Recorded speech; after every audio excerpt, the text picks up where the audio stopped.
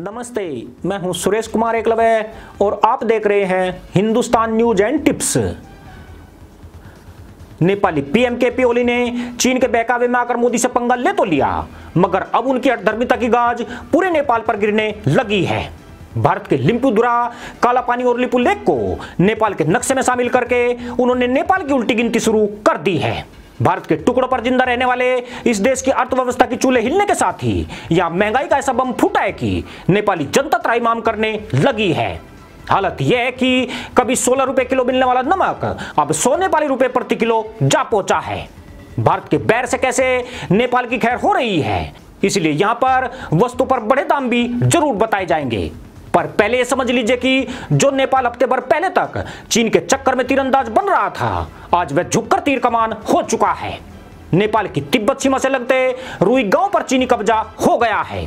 पर भारत की सहनशीलता पर गधैया नृत्य करने वाली ओली सरकार को ढूँढने पर भी घुंघरू नहीं मिल रहे हैं। पर भारत की दया और झूठन पर पलने वाले इस जैतन मुल्क की बर्बादी की यह सिर्फ़ शुरुआत मात्र है। अभी कुछ ऐसे कदम उठाए जाने बाकी हैं, जिससे पिंजरे का तोता चोंच हिलाने की हिमाकत भी नहीं कर पाएगा। भारत से नेपाल को होने वाला निर्यात फ़िलहाल पंद्रह फ़ीसदी के करीब रह गया है। नेपाल अपनी अस्सी फ़ीसदी जरूरतों के लिए भारत से हुए आयात पर निर्भर है। लॉकडाउन के चलते भी इसमें भारी कमी आई है, जबकि सरकार ने भी नेपाल के बारे में सोचना लगभग कम कर दिया है। भारत से नेपाल को नमक आटा दाल और खाद्य तेल जैसी दैनिक उपभोग की वस्तुएँ निर्यात की जाती है। इसके अलावा दुपहिया वाहन मशीनरी कल पुर्जे। दवाइयाँ और इनकी टोपी तक का कपड़ा भारत से बनकर जाता है। अभी तक छोटे भाई के लिहाज से भारत निस्वार्थ भाव से इनकी मदद करता रहा है।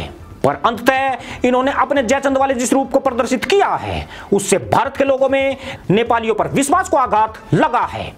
भारत से आयात में व्यवधान आने के चलते यहाँ पंद्रह दिनों में छह गुना महँगाई बढ़ गई है। हालत यह है कि ढाई सौ रुपए प्रति किलो बिकने वाली हल्दी आठ सौ रुपए किलो बिक रही है।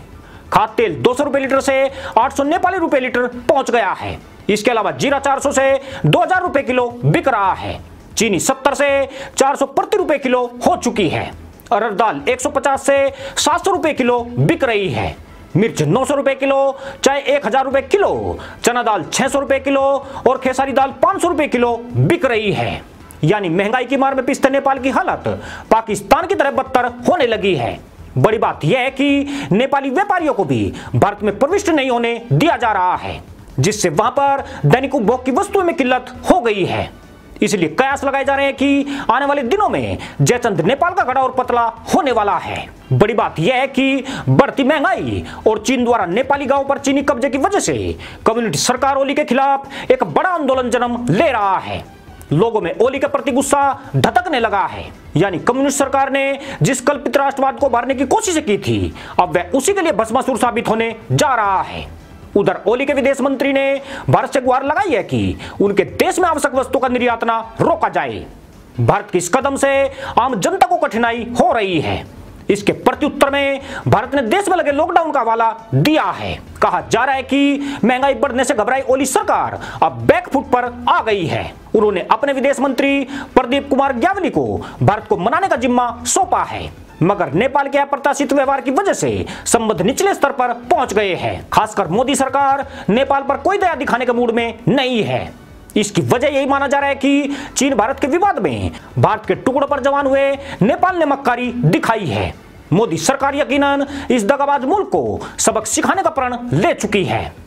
पिछले हफ़्ते की वीडियो में हमने स्पष्ट किया था कि नेपाल को धरातल पर लाने के लिए कुछ ठोस कदम उठा दिए गए हैं। उनका असर आज सबको दिखना शुरू हो चुका है। परंतु नेपाल को याद रखना होगा कि यह मामला यहीं पर खत्म नहीं होगा, बल्कि आने वाले दिनों में इस जैसन देश को और भी बड़ी मार पड़ने जा रही है। शायद ये महँगाई की मार से भी कहीं ज़्यादा चोटिल होने वाली है, क्योंकि भारत को ललकार ने या उसकी सहनशीलता का फ़ायदा उठाने की जिसने भी कोशिश की है, उसने उसके नतीजे ज़रूर भोगे हैं। फिर नेपाल तो वह देश है जिसने जिस थाली में खाया, उसी में छेद किया है। इसलिए इसके पार छेद करने का एक हक तो ज़रूर बनता है। इसी के साथ अनुमति दोस्तों, जय जवान, जय किसान, जय हिंद बंदे मातरम।